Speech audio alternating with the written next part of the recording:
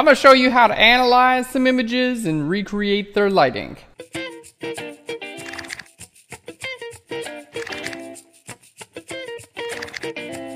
Hey guys, welcome to Phlearn. My name is Aaron Nace. You can find me on Twitter at aknacer. You can find me here at Phlearn five days a week, making awesome videos to help you guys get better at Photoshop and photography. Today is really cool because we're talking about, we're actually to analyze three images by three of my favorite photographers, and um, I'm to go through and show you guys how to figure out how these images are lit. So this is, it's not really done in Photoshop, more it's just you gotta use this thing. And um, when you figure out how these images are lit, the cool benefit it's gonna have for you is that you can actually apply the same things to your images as well. So like figuring out how someone else lights their images, you can do the same thing and you can achieve a very similar effect. So I'm gonna show you guys how to do it. And then we got a quick little contest. This is pretty cool. All you have to do is find an image online, whatever, it could be your favorite image, figure out how it was lit and then write post the image and then write a description of how it's your lit and then one random person is going to win a free Phlearn Pro and we're going to have this contest available through Monday at noon Central Standard Time. So it's just super quick. Just find an image, be like, oh yeah, and uh, oh I think it was like this, and then we're just going to pick someone totally randomly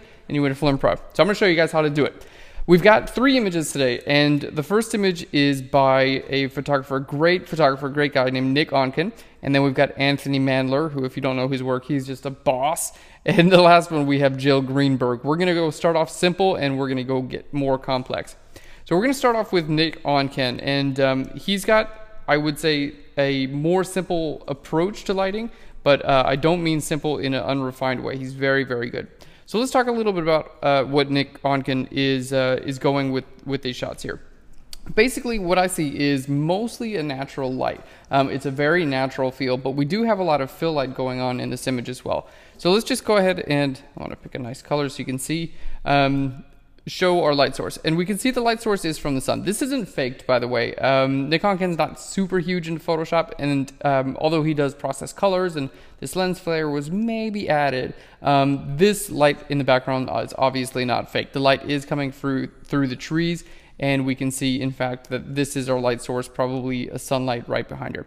I would imagine that this like little bit of glare is added in Photoshop afterwards, but that's not a huge deal. So our main light source is in fact the sun behind your model. Now, if you guys have shot with a, you know, outdoors and you've got someone backlit, you'll know that a lot of the time you'll wind up with someone who's, um, they're going to be pretty dark. There's like almost in silhouette, depending on the angle of the sun. So what you can do, and what I think is done here, again, this is all just me thinking about this and how I analyze these is um, use a giant reflector. Now these are regular, we'll link to those below. You, you can get like a five in one reflector. They're very quick and they're very cheap actually. Basically they just reflect light back on your subject. So I'm gonna zoom in and then we're gonna just um, use my hand tool here and see what we've got here. So we can see the, the light behind her, but do you see this kind of like light that's here in her eyes? And that is what I'm assuming is our reflector. So it's probably a very large reflector that's catching the light and then hitting it back on your subject. So that's another quick tip for you guys. If you're looking on how to dissect the lighting in a photograph, look at the what's called the catch light in a person's eyes, and that's going to help you figure out how that image was lit. So that light wouldn't really be there necessarily uh, in a totally natural light setting. That's why I believe that there's a reflector and that's aiding this image in its uh, exposure. So all around awesome image, Nick Onken, great photographer. All right, let's go to our next image, and this is by Anthony Mandler, who is again awesome, and this is an image by Snoop Dogg. Um, I have a theory that if you just take any picture of Snoop Dogg, it's going to be cool. I've never seen a bad or stupid picture of Snoop Dogg. Um, some people are just always cool no matter what. So this image I like a lot. Um, you guys can probably see there is natural or um, like not natural lighting, but uh, not strobe light going on. These uh, fluorescent bulbs behind um, behind Snoop Dogg here. So those are creating like a little bit of backlight. It's not going to be much. You can see like there's a, that little bit of a rim right there, right around Snoop in that as well. It's not a whole lot, but it is enough to create some light going on our subject. Now the next thing we have is I'm going to show you guys how to analyze these shadows on his face. Basically, we have a hat here and then the shadow for the hat is right here. So photographing people with hats on is really tricky because you can't put your light up too high or you'll just get a giant shadow on the person's face. So we have the light source is coming from, you know, almost about the same direction as the actual, as the hat. So it's probably just a little bit higher than the hat. The next thing you want to look at are things like the shadows on a person's body, shadows on a person's face. So we can see that this area of Snoop is in shadow as well as this area. And then this, basically this entire arm here is in shadow as well. So what that tells me is if this uh, is highlight and this is shadow, let's color the shadow a little bit darker, then our light direction is coming from that way. So our light is coming from that way, causing this to be in highlight and causing that to be in shadow. Also, this is basically all in shadow because the light is hitting basically what is the back of his arm there as well. So I would imagine uh, you can't see really any catch light in Snoop's eyes. I can't anyway. Maybe you guys can't. There might be a tiny hint of one, but I can't really see much of a catch light. So I would imagine our light source is a little bit harder here, maybe like a smaller um, maybe even about the size of like a beauty dish or something like that, or a small softbox, and that would be camera right as well. Now, um, Anthony Mandler does use gels a lot. Let's just make that invisible. There we go. What am I doing here? My spacebar, by the way, my spacebar stopped working on my computer, so I've got to grab the hand tool, which is uh, stupid well, the spacebar doesn't stop working, but in Photoshop it has. So if that ever happens to you, by the way, which is something I need to do, you need to reset Photoshop. We'll link to that below on how to reset Photoshop, because if it starts acting weird, that's basically something you need to do. So our light source is coming from the right, and a lot of the time, um, people who are going for more cinematic feel look we'll use uh, gels to make it a little bit more uh, to get like a warming and a cooling effect. So I think that's what's going on as well here. I think there's a large light source that's blue and that's as our uh, shining in as our fill light. You can kind of see it there reflecting from the top, probably like reflecting into the ceiling, hitting down, or maybe that's just sky up there. I don't I don't know, but we can see this like blue light. That would be my I would assume that this light was probably shining in from above and hitting Snoop, and that was that had a blue gel, and then the light to the right would have a warming gel on it. So if you wanted to get a similar look to this, you would use gels, uh, both like the blue from the side and then the orange, um, CTB and CTO from the uh, the other side. So that is our um, way of breaking down Snoop Dogg. He's just looking at me and he's so badass. I'm like, I can't think with you, Snoop Dogg. You're just too cool. All right. Next, we have Jill Greenberg. Now, she's actually really famous. She's basically famous for her processing style and her lighting, which is really cool, and you can get some great effects here. Um, one thing we have to pay attention here is all of the rim lighting. Basically, rim light is anything that's behind a person. Um, hair light is like basically a hair light that's you know you can go from straight top down or from the back as well. So you can kind of mix between a hair and a rim depending on how far behind your subject it is.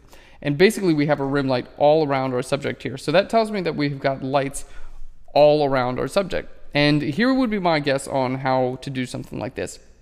If you wanted to achieve effect like this, what I would do is use strip boxes, um, probably gridded as well. Gridded strip boxes are really great because they can direct light on like a long beam. You, they're really great for creating rims, and they don't um, they don't shine light into the camera because they're gridded. They're you know they're very restricted, and you won't get a lot of flare into your camera. So if you guys are using a lot of backlighting, a lot of rim lighting, I would recommend putting grids on your lights, and that'll just keep keep the flare from entering your lens. So if you have a strip box, basically a strip box is just a long, thin soft box. That's all that is. I know it sounds fancy, but you could use two strip boxes on either side. There we go and that's going to be creating this light that kind of wraps around here. That would be this light as well. This one would create that light that does this all the way around there. Now, going up top, you have a couple options. You could use one long strip box as well, or you know maybe even like two smaller strip boxes. Um, these light sources are they're long and thin, but I don't think they're using anything like a just a regular softbox. If a softbox is used, it's probably a softbox that's covering basically the entire distance. So this is all behind the subject and it's pointing directly at their head. So it's out of the frame, but it's pointing light at the subject.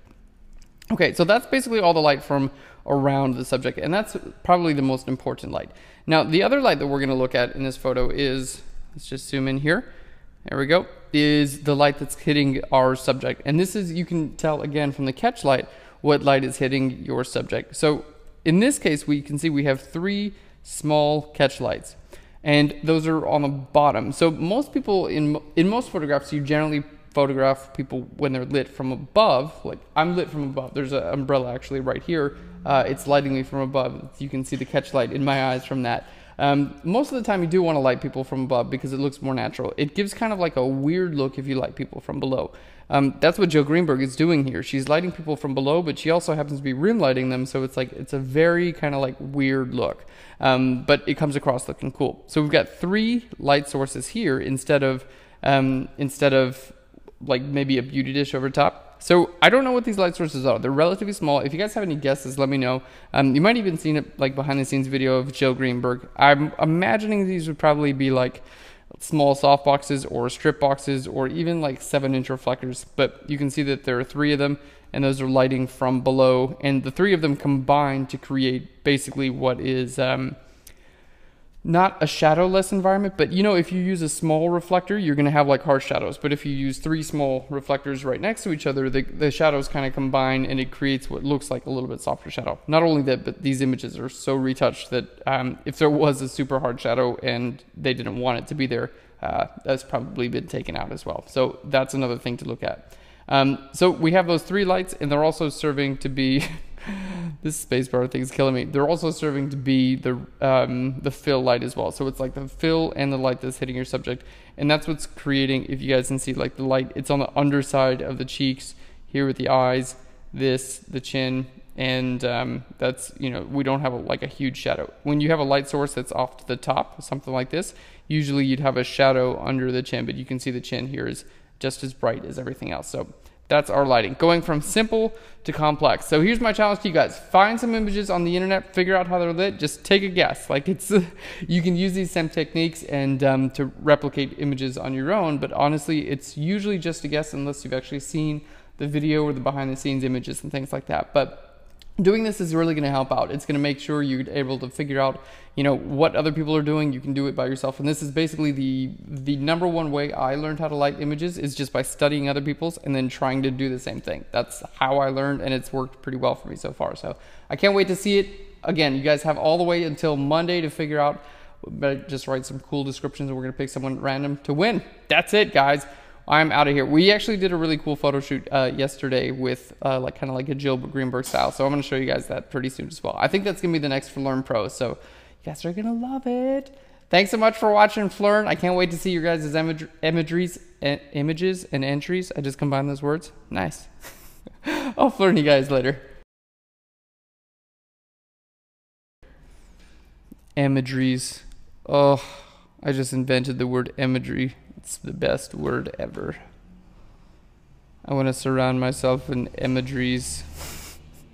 I just want to bathe in them. Imageries. Yes, please.